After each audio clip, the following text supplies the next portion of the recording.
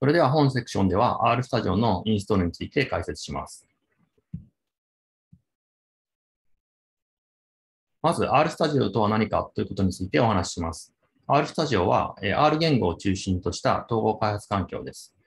で、えー、様々な、えー、バージョンが存在していて、機能が少しずつ違うんですけども、無料バージョンでも十分に高度な解析ができます。でですね、R だけでも解析や作図はできるのですが、なぜわざわざ R スタジオを導入するかということについて説明すると、えー、快適なコーディングをサポートする様々な機能がまず備わっています。例えばですね、関数のサジェスト機能や、えー、ヘルプの閲覧が容易であるといったような特徴があります。また、プロジェクト単位でのファイル管理やバージョン管理もできますし、えー、パッケージ、これ追加機能のことなんですけども、これらの導入や管理も非常に楽です。また、えー、他の言語、例えば Python や C++ などとの柔軟な連携も可能です。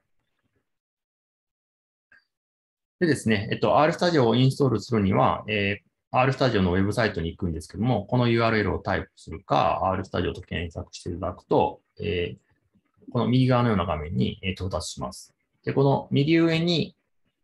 えダウンロードのボタンがあるので、ここをクリックしてもらうと、えっと、ダウンロードサイトに飛びます。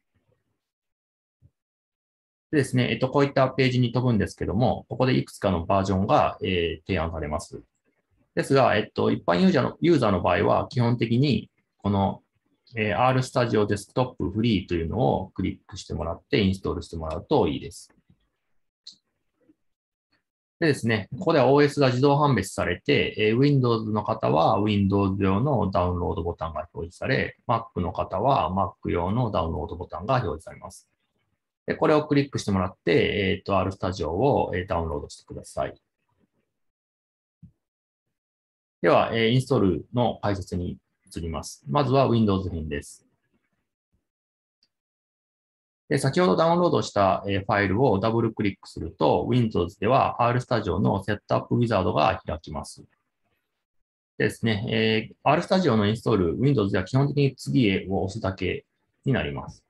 で、次へを押して、えインストール先のフォルダを指定するんですけども、特に、え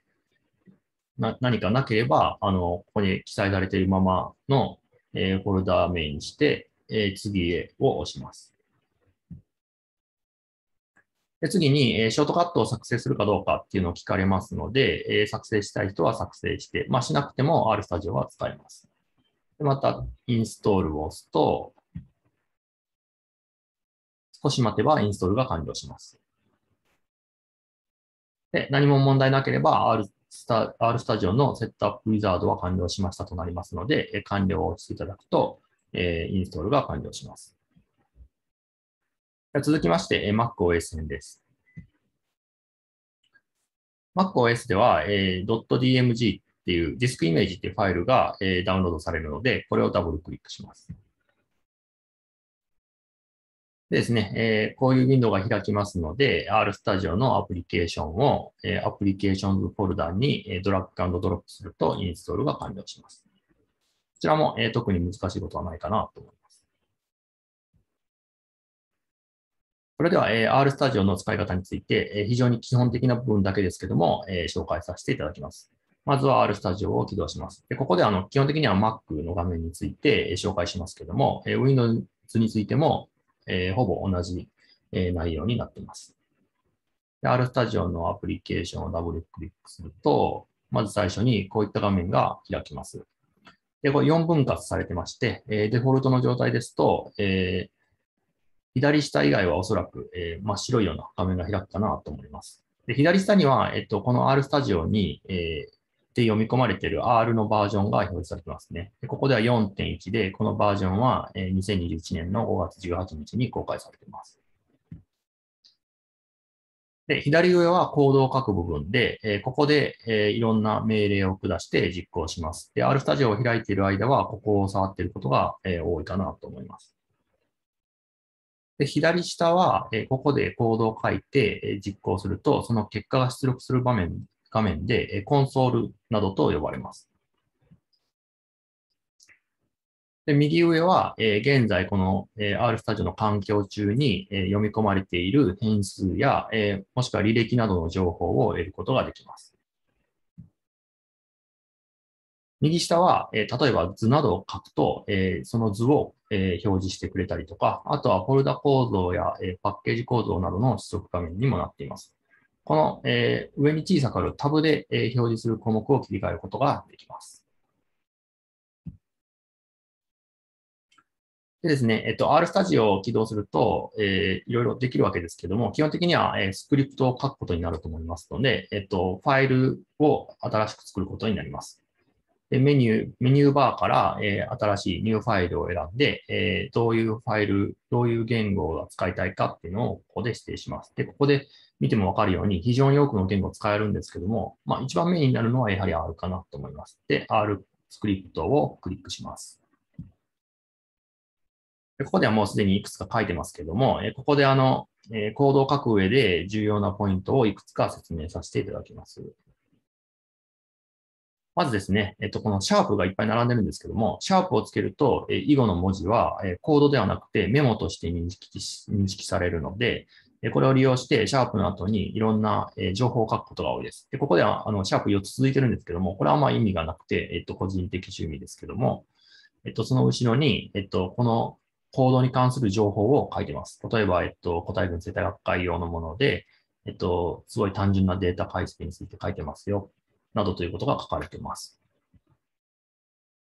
でですね、え次に、えっと、ここに実際のコードがあるわけですけども、えっと、それが何なのか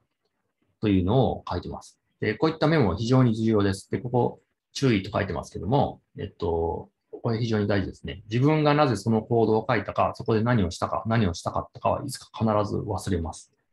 そう思って、多少面倒でも丁寧なメモ、コメントを残してください。で、このコメントは、えっと、これを見る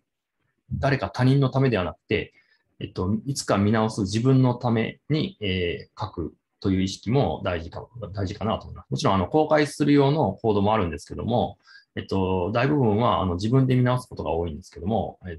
すごく、えっと、やったことを忘れているっていうことが多いです。なので、えっと、丁寧なコメントを書くことをお勧めします。で、えっと、ここではまあ1行しか書いてないんですけども、これ、アイリスという界隈では有名なデータセデータセットをロードしてます。で、データっていう関数を使って、アイリスという、えー名前のデータセットをロードしてます。で、えーこの場合ですと、えっと、Windows では Shift プラス Enter、で、MacOS では Command プラス Enter を、えっと、ここで押すと命令が実行されます。で、ちょっと実行した結果を見てみます。実行するとですね、えっと、先ほどの4分割の画面でいうとこの右上に、えー、アイリスっていう項目が現れて、えーこの中身が示されてます。で、ここえっと、150の観察、観測値に、えっと、5つの変数があると。でですね、えっと、このアイリスをここでダブルクリックすると中身がテーブル形式で閲覧できます。で、そのテーブル形式のデータっていうのは、えーあ、すみません、戻りますね。えっと、左側に現れて、えこうやって、あの、Excel と同じような感じで見ることができます。もしくはですね、えっと、コンソール上で、えー、iris とタイプすると、え中身がテキスト形式で表示されます。こういう、えやり方で中身を見ることもできます。でですね、えっと、アイリスのデータロードしただけでは、えっと、特に何も面白くないので、えープロットしてみることにします。で、ここではプロット関数を使って変数の関係を可視化しています。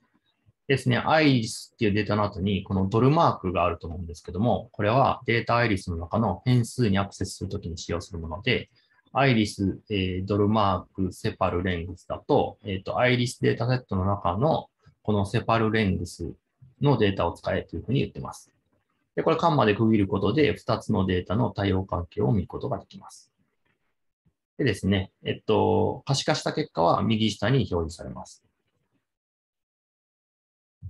でこれが、えープロットの、えー基本的な使い方です。でですね、えっと、これは、あの、最後に、最後にですね、えっと、パッケージというものについて紹介させていただきます。でパッケージはですね、R の、R に機能を追加するというもので、R はあの、基礎的なえー機能だけでもいろんなことできるんですけども、より高度な解析をしようとすると、えっ、と、パッケージなしだと自分ですべてコードを書かないといけない。それは非常に大変な作業です。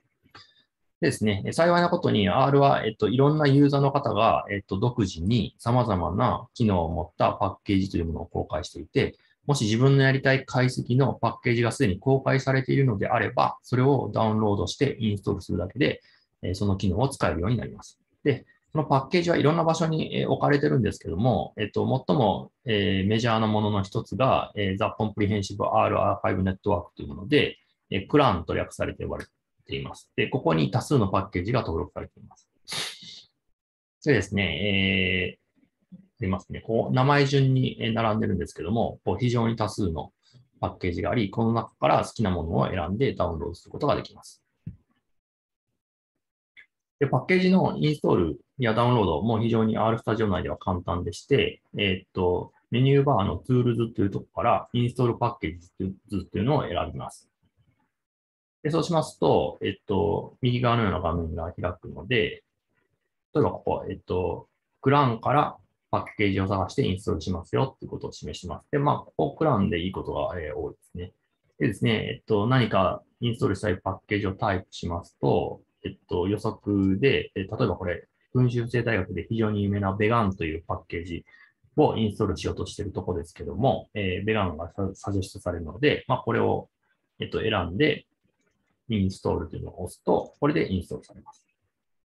こんな風にして、えー新しい機能をどんどん追加していくことで、自分のやりたい解析がえできるようになります。